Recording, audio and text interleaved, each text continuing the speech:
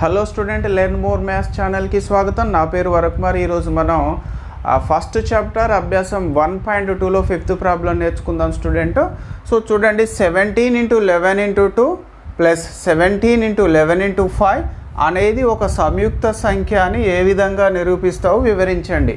So easy student పెద్దగా మనం solution చేసేది ఏముండదు ఇక్కడ. జాగ్రత్తగా ఆలోచిస్తే అది ఏ విధంగా సంయుక్త సంఖ్య అవుతుందో తెలుస్తుంది. సో ఇచ్చినటువంటి సంఖ్య ఒకసారి రాద్దాము స్టూడెంట్. ఇచ్చిన సంఖ్య ఈక్వల్ టు ఇచ్చిన సంఖ్య. సో ఏముంది ఇక్కడ? Seventeen into eleven into two plus so ఇక్కడ ఏముంది student? Seventeen into eleven into five so ఇది మనకి ఇచ్చినటువంటి సంఖ్య.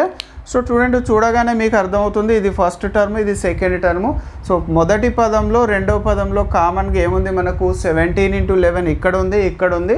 సో కాబట్టి నేను సెవెంటీన్ ఇంటూ లెవెన్ని కామన్ తీసినట్లయితే స్టూడెంట్ ఇక్కడేమో టూ ఉంటుంది ఇక్కడ ప్లస్ ఫైవ్ ఉంటుంది.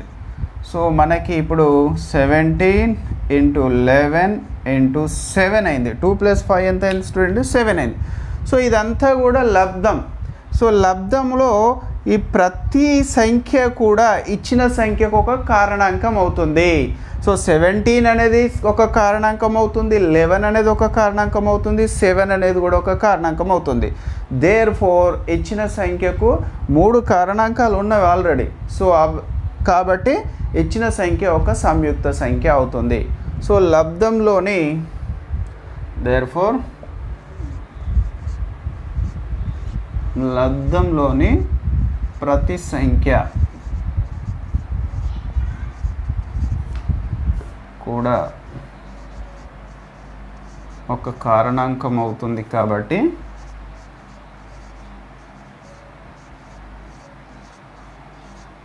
ఒక కారణాంకం అవుతుంది కాబట్టి